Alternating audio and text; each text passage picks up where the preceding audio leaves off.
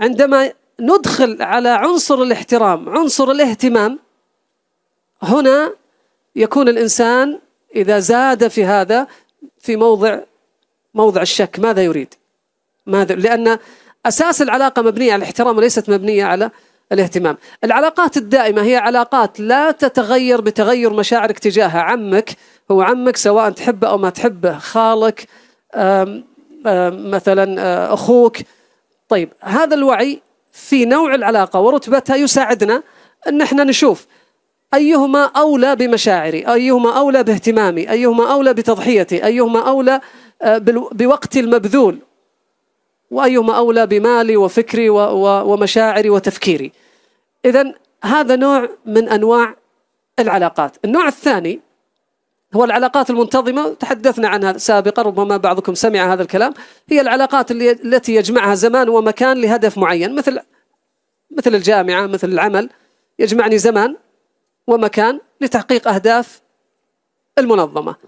أي خلل في الزمان أو المكان أو الأهداف ينقل هذه العلاقة من حيز العلاقات المنتظمة إلى نوع آخر سنتحدث عنه. بمعنى إذا صار ثمة تواصل بين الزميل وزميله أو الزميلة وزميلتها خارج وقت العمل. ماذا يسمى هذا؟ إذا كان هناك لقاءات خارج مكان العمل انتقلت العلاقة من علاقة منتظمة إلى علاقة من نوع آخر. إذا كانت العلاقة مبنية على أهداف خارج أهداف المنظمة أصبحت العلاقة هنا ليست علاقة منتظمة. طبيعة العلاقة المنتظمة أنها مثل السمكة إذا خرجت من الماء ماتت. كذلك العلاقات المنتظمة في العمل أنها إذا خرجت من إطار العمل زمانا ومكانا طبيعي جدا زميلي ما يتواصل معي. طبيعي جدا ليأخذ إجازة ما نتواصل معه. طبيعي جدا الذي يأتي من إجازة لا نحتفي به. لأن هذه هي طبيعة العلاقات المنتظمة. وعي أنا بطبيعة العلاقة يرفع عني العتب. ما عاد أعتب على الناس ولا أشرح عليهم ولا أكون متطلع ولا مرتقب وإنما أكون أكثر وعيا أكثر نضجا أكثر هدوءا في تعاملي مع الآخرين. ثمة ما يسمى بالعلاقات القديمة وهي العلاقات التي آه، انتهت على مشاعر معينة كانت سواء كانت مشاعر جيدة أو مشاعر غير جيدة ثم التقينا بعد مدة. فهذا اللقاء الأولي إما أن يحيي هذه العلاقة وإما أن يميتها. من العلاقات التي يمكن أن نضيفها هي العلاقات المبنية على المصادفة. علاقات مبنية على المصادفة. بمعنى في أحد ممكن يصير بينك وبين حادث سيارة ثم تنشأ بينكم علاقة. يكون بينكم مشكلة ثم تنشأ بناء على هذه المشكلة علاقة. هذه العلاقة بالمصادفة. ممكن أنت يعني واجهت إنسان في بلد غربة وكان هذا اللقاء المصادفة فيه أنشأت علاقة بينك وبينه أيضا من الأنواع النوع اللي ممكن نضيفه العلاقات المخطط لها. العلاقات المخطط لها هي تلك العلاقة التي ترى أنت أن من صالحك أن تتعرف على فلان. فتبدأ تخطط لهذا الشيء. ممكن يأتي واحد يقول يعني هل أكون أنا مصلحجي؟ الجواب نعم.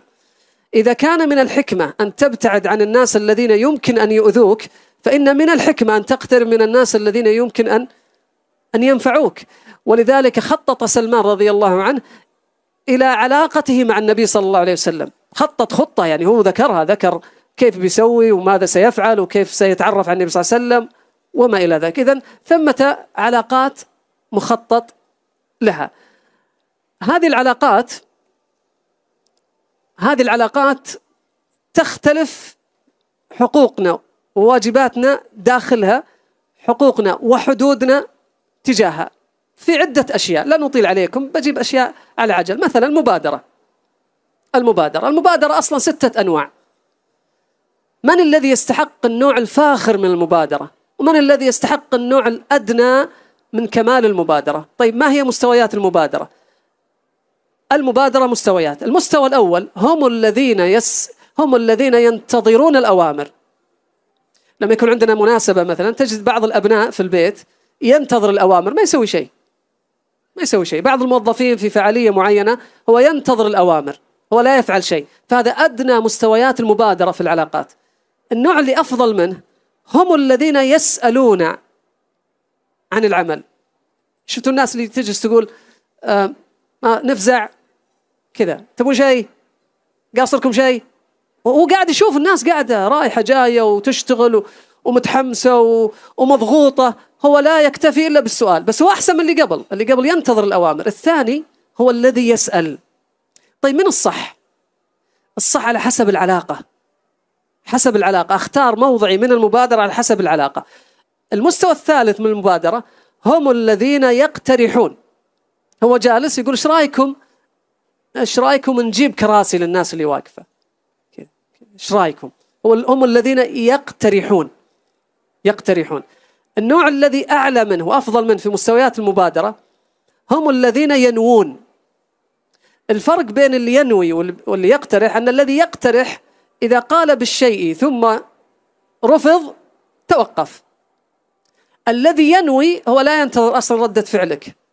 أنا ناوي أسوي كذا أنا ناوي أشتغل كذا أنا ناوي أطبخ أنا ناوي أروح أنا ناوي أزور أنا ناوي أهدي. اللي بيجي معي يجي. ومن هنا تبدأ الأنواع الفاخرة في مستويات المبادرة في العلاقات. النوع الذي يليه أفضل منه هم الذين يفعلون ثم يخبرون. يسوي الشيء بعدين يخبرك عنه. يقول لك والله أنا أمس سويت واحد اثنين ثلاثة أربعة. أنا ترى أرسلت هدية لزميلنا اللي كذا كذا وكتبتها باسمنا. هو ما هذه قمة المبادرة. بنفس جماعي وليس بنفس فردي. وخير منه وخير منه. هو الذي يفعل ولا يخبر. وتكشفه الأيام. يفعل ولا يخبر. مثال مثال. قد يأتي الإنسان في المعرض هنا ويصلح شيء ويصلح شيء ثم يخبر به. لا يشعر هو بالمسؤولية الكاملة في هذا المعرض أنه عليه أن يصلح هذا الشيء. لكن في بيته هو سيفعل ويصلح دون أن يخبر لأنه يعتقد اعتقاد جازم أن هذا الخلل في منزله هو مسؤوليته الكاملة.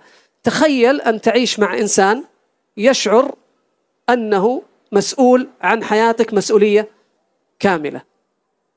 معظم معاناة الناس هي في الشعور بالضآلة. السوشيال ميديا تصور أن الحياة ملأى بالتضخيم.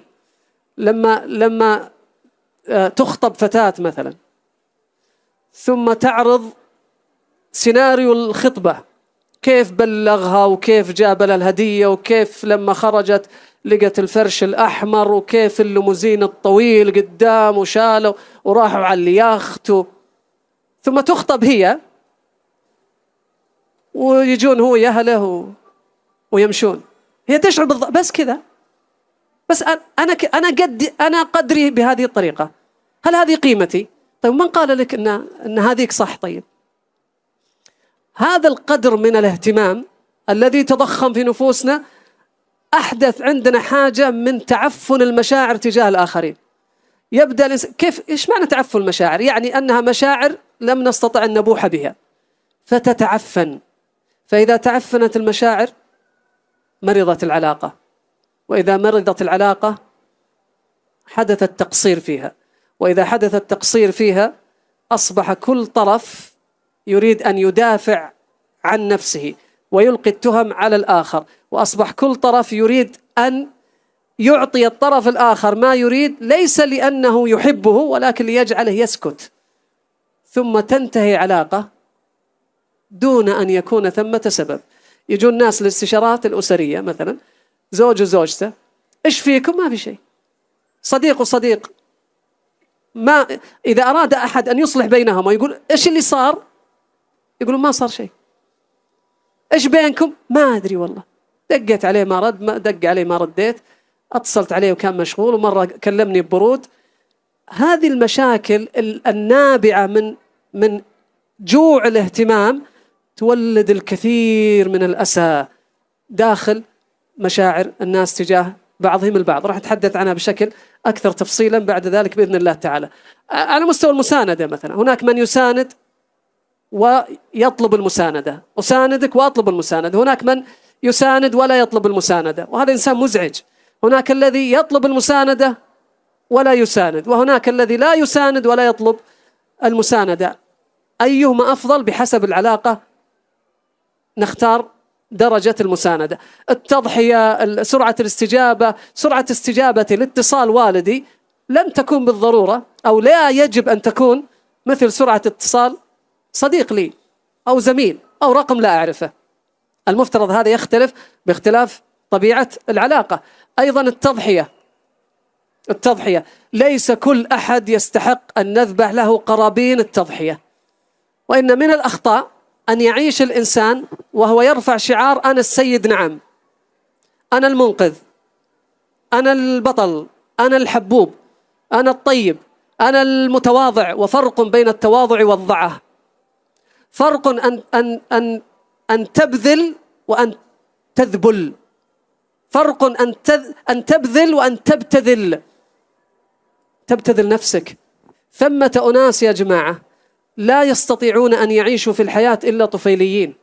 يصعدون على ظهرك. طالما أنك منحني بكلمة نعم لا تقول لهم لا هم على ظهرك. فإذا جاء يوم وبدأت تنتبه وتعي وتنضج وتبدأ تقول لا وتعرف حقك وتعرف وتستطيع أن تقول توقفوا اسكتوا حدك لا تتجاوزه واستقام ظهرك سيقعون. سيقعون. لأن أمثال هؤلاء إذا انقطع الإمداد انقطع الوداد. طالما أنت لا تستجيب لهم لا تطاوعهم لا تعطيهم لا تضحي من أجلهم هم سيتركونك. ولذلك العلاقات اللي من هذا النوع هي علاقات مثل الوردة الصناعية شكلها جميل لا رائحة لها. تدوم نعم تدوم وردة صناعية ما تخرب. طالما أنك تعطيه طالما أنك أنت اللي تضحي لن يتغير عليك. لأنك أنت بالنسبة له مصدر مصدر استفادة. فعلى مستوى التضحية يجب أن نعرف أنا أضحي لمن؟ لماذا؟ لأن من القواعد المهمة جدا جدا. إذا لم يكن لديك هدف في الحياة فأنت تسعى لأهداف غيرك. إذا لم يكن لديك هدف في الحياة فإنك تسعى لأهداف غيرك. إذا لم يكن لديك هدف في علاقتك في أسرتك ما في هدف فأنت تسعى لتحقيق أهداف الآخرين في علاقاتهم. أنت قاعد تبذل جهدك ووقتك وحياتك وتفكيرك. ومالك في المكان مكان الخطأ إذا على مستوى التضحية مستوى الطاعة مستوى الإرضاء آه، على مستوى الوقت المبذول. طبعا على مستوى الإرضاء يعني إحنا نعيش نعيش نعيش. في حياة يمكن أن نسميها الإنسان الإنسان المثبت. الإنسان المثبت. إيش معنى الإنسان المثبت؟ أصبحنا نعيش ونحن نريد في كل لحظة أن نثبت للآخرين أنا ألبس ماركة عشان أثبت لك. أنا أرمي لي كلمتين إنجليزي عشان أثبت لك. أنا آه، أغير من شكلي أزرع شعري أنفخ ألون أصبغ أسوي علشان أثبت لك. أحيانا آخذ الدكتوراه علشان أثبت لهم. منهم؟ ما أدري. فأصبح الإنسان يريد أن يثبت يتوظف جديدا. فتصبح حياته في العمل يريد أن يثبت لزميله ولمديره ولمدير مديره وللوزير الذي لا يعرفه. ويصبح هو يعيش هذه الحالة من من حالة الإثبات التي لا يستطيع أن يحصل عليها أبدا. لأن حالة الإثبات هي مثل الإنسان اللي يكون شخصية من الشخصية المثبتة اللي تحاول أنها تكون مثبتة هي مثل تمثال الشمع. مجرد ما تأتيها شمس الحقائق تموع وتذوب.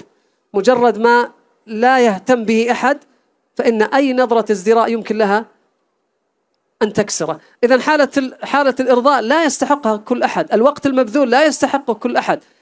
لأنه مورد مورد. إذا أنت صرفته لمن لا يستحق سيكون على حساب من؟ يستحق هذا المورد كيف أنت آه، توازن به. على مستوى الاهتمامات مثلا على مستوى الاهتمام كيف أنك تهتم بالآخرين؟ هذا الاستنزاف من المشاعر يجعل الإنسان الطيب الحبيب. النبي صلى الله عليه وسلم يقول خيركم خيركم لأهله. لأن اللي كويس في البيت بيت أهله إذا خرج خارج بالضرورة يكون كويس لكن اللي, خ... اللي كويس برا ليس بالضرورة أن إنسان راقي داخل بيته. ليش؟ لأنه نزف في الخارج وأراد أن يرتاح في الداخل. لأنه بذل وأعطى في الخارج فأراد أن يأخذ في الداخل. لأنه أزاح في الخارج وأراد أن يزيح في الداخل. ولذلك تجد أن بعض الناس اللي شخصياتهم لطيفة ورائعة وحبوبة وكريمة وطيبة في الخارج يكون إنسان آه، تكثر شكوى زوجته أو زوجها منها وأبناؤها وأبناؤه منه لأن كل هذه المشاعر تم صرفها على من لا يستحق أو على من يستحق لكن في رتبة أقل من رتبة أبنائه. والله يا جماعة الإنسان يذهب أحيانا لبوفيه أو كفي أو أي مكان لمجرد لمجرد أن هذا الكفي يعرفه بس يعرف وزنية سكره. أن أول ما يشوف يقول هلا أبو بدر ويعطيه وزنية سكر. بس وزنية سكره يعرف أنه إذا طلبت أنا شاهي يحط لي معه نعناع. يعرف أني أبغى السكر برا. هذا الشعور بالاهتمام يجعلني يجعلني أذهب إلى المكان الأبعد من أجل هذه اللحظة من الاهتمام. وأبذل مال أكثر من أجل هذه اللحظة من الاهتمام.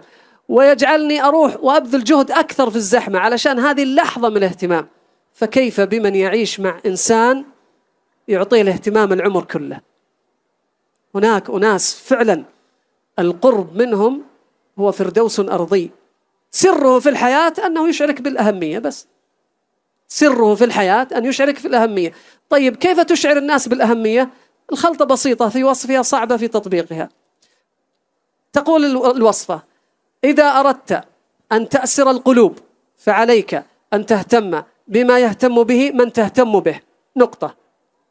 إذا أردت أن تأسر قلبا فعليك أن تهتم بما يهتم به من تهتم به. أنت من, من تهتم به؟ بأبيك بأمك بأبنائك بأصدقائك؟ هم ماذا يهتمون به؟ اهتم بهذا الاهتمام.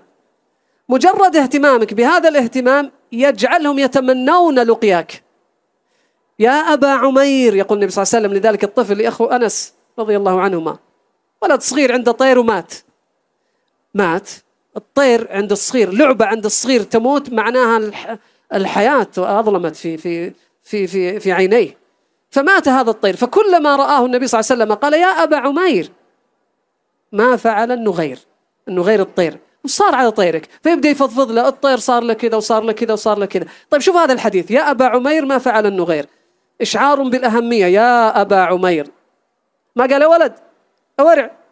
يا لا. يا أبا عمير.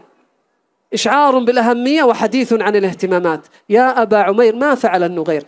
في واحدة صحفية أمريكية اسمها دورثي ديكسي عملت مقابلة مع شخص مسجون في أمريكا تهمته أنه تزوج 133 امرأة أو 134 امرأة. فقالت له أنت كيف استطعت أن تخدع 133 أو 134 امرأة؟ قال ستوب سؤالك غلط. قالت كيف أسأل؟ قال اسأليني كيف استطعت أن تقنع 133 امرأة بالزواج. فقالت له كيف استطعت أن تقنع 133 امرأة بالزواج؟ قال كنت إذا التقيت بها أحدثها عن نفسي ولا نفسها؟ عن نفسها. أحدثها عن نفسها. يخطئ كثير من الناس في إنشاء العلاقة في أن يستعرض عضلاته ويبدأ يتحدث عن نفسه وعن منجزاته حتى ينال الإعجاب. ومن يحصد الإعجاب من يزرع الإعجاب لا يحصد الحب ترى. قد يعجب الإنسان بمن يكره. قد يعجب الإنسان بعدوه. قد تأتي امرأة في مع صديقتها لشلة جديدة. هي تريد أن تعرفهم على شلة جديدة. هي تريد أن تكون علاقة مع هذه الشلة لكن وعيها في فهم العلاقات خاطئ. أرادت, أرادت أن تدخل مع بوابة الإعجاب فلبست أحسن ملابسها وأحسن شنطة وأحسن مار وأحسن ساعة وأحسن قصة وأحسن مدري إيش وأحسن فأصبحت الأحسنات.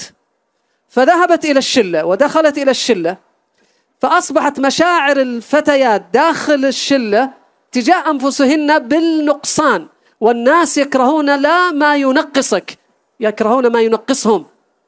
فأعجبوا بها وكرهوها. الله ياخذها شعرها حلو. هذا المشاعر الذي يريد أن يكون علاقات من خلال الإعجاب لن يستطيع أن يكون علاقة. العلاقة مبناها الأول بذرتها الأولى التي تسقيها الحب والحب له فلسفة. إن كان في وقت تكلمنا عنه إن شاء الله بإذن الله تعالى. طيب. تأذن لي أستاذ بس يعني آه، من باب بس أول شيء تشغيب عليك سامحني. أبشر. الله يجزيك خير. ال- الآن كثير من المعاني اللي ذكرتها قبل قليل. في حقوق العلاقة أو هذه الأدوات اللي ذكرتها من قضية الإرضاء والمبادرة ونحو ذلك. في جزء كبير منها مصطلحات شرعية كالإيثار وال- وتقديم تقديم الناس على النفس وإلى آخره. نعم. كيف أوازن بين المفهوم الشرعي اللي الشريعة أصلا تدعو له؟ وفي نفس الوقت ما أقع في السوء اللي أنت ذكرته من استغلال بعض الناس حق هذا النوع من المبادرات لا- بهذا النوع من العطاء لا ضرر ولا إضرار. الايثار لا لأن بعض نعم. الناس دك بس سامحني استاذنا بعض الناس اللي يسمع الآن قد يغل يعني مو بكل الناس عنده قدرة على التمييز ما بين الأمرين. يعني ممكن يقول لك يا أخي خلاص بلاش كل علاقة تؤدي بي إلى الذبول فمع السلامة وأنا أعيش بنفسي. وهذا خطاب موجود وسائد نعم. شلون أوازن ما بين الغاية الشرعية من التشجيع على هالنوع من الأخلاق وفي نفس الوقت إني ما أصل إلى السوء فيها. ممتاز. الله شكرا على استدراك. عمر رضي الله عنه يقول اعتزل ما يؤذيك. فاستبدل الإنسان المعاصر الماء إلى من؟ استبدل ماء إلى من؟ أصبحت اعتزل من يؤذيك. طيب إذا أنا اعتزلت من يؤذيني؟ من العلاقات العامة من الناس. هذا الاعتزال عن من يؤذيني يرهف جلدي للصبر على العلاقات الحقيقية التي ربما أن تؤذيني. طلبات والدي طلبات والدتي. البر ليس مفروشا بالورود يا جماعة. حسن الخلق الذي ذكر النبي صلى الله عليه وسلم أنه أثقل الأعمال في ميزان العبد يوم القيامة. أتدرون من أقربكم مني منزلا؟ فيسكت الصحابة. أكيد أبو بكر وعمر. في إحنا مين عند أبو بكر وعمر؟ فيسكت الصحابة. فيرد النبي صلى الله عليه وسلم أتدرون ما أقربكم مني منزلا يوم القيامة؟ فيسكت فيردها ثالثة فلم يتكلموا فقال أحاسنكم أخلاقا. هذا حسن الخلق العظيم في الشريعة وفي الميزان يحتاج إلى هذا النوع من الصبر على الآخرين. نجي مثلا مفهوم الإيثار. الإيثار لا يصح إلا بستة شروط. لا يصح وإلا هو ليس هو منقصة ومذمة في حق الإنسان فليس على إطلاقه الإيثار. الكرم ليس على إطلاقه. بذل الوقت ليس على إطلاقه. ال... ال... ال... ال... الصفح الصفح ليس على إطلاقه. الله عز وجل يقول فمن عفا وأصلح فأجره على الله. يقول الشيخ ابن عثيمين رحمة الله عليه أما من يعفو ولم يصلح فليس أجره على الله. عندما تعفو والعفو لاحظ أنه أن قيمة عالية جدا لكنها مقيدة بالإصلاح. عندما تعفو عن ظالم ظلمك أو أخطأ أو مطعم قصر في في خدمته أو موظف أهمل. إذا عفيت عنه فأنت تزرع فيه شجرة أخرى تظل الناس بالإهمال مرة أخرى. لكني أعفو وأصلح بمعنى أني آه، يعني أخبره عن خطأه أقلل آه، عقوبته آه، يعني أجعله يتذوق مرارة هذا الخطأ حتى أحصل على العفو. مع إصلاحه حتى لا يكرر مرة أخرى. فالقيم لا بد أن تهذب. القيم يا كرام تزرع ثم تهذب. تزرع في الأطفال بإطلاقها. فإذا كبرنا نهذبها. بمعنى نجي للصدق مثلا. نجي للطفل نقول الصدق. خلك صادق خلك صادق خلك صادق خلك صادق. الصدق ليس دائما صح. فإن نقل الأسرار صدق. والنميمة صدق. والغيبة إذا كانت في حق هي صدق وإن لم تكن في حق فهي بهتان. إذا أنا أخبر الطفل بالمبدأ ابتداء أنه الصدق فإذا كبرت شجرة الصدق بدأنا نهذب أغصانها وكذلك في مسألة القيم ومتى أقول لا ومتى أقول نعم ومتى أضحي ومتى أرضي الناس متى أستجيب متى أبذل. هذه قيم عامة ممتازة على إطلاقها. فإذا بدأت تنمو في شخصيتنا فهي تحتاج إلى إلى نوع من التهذيب.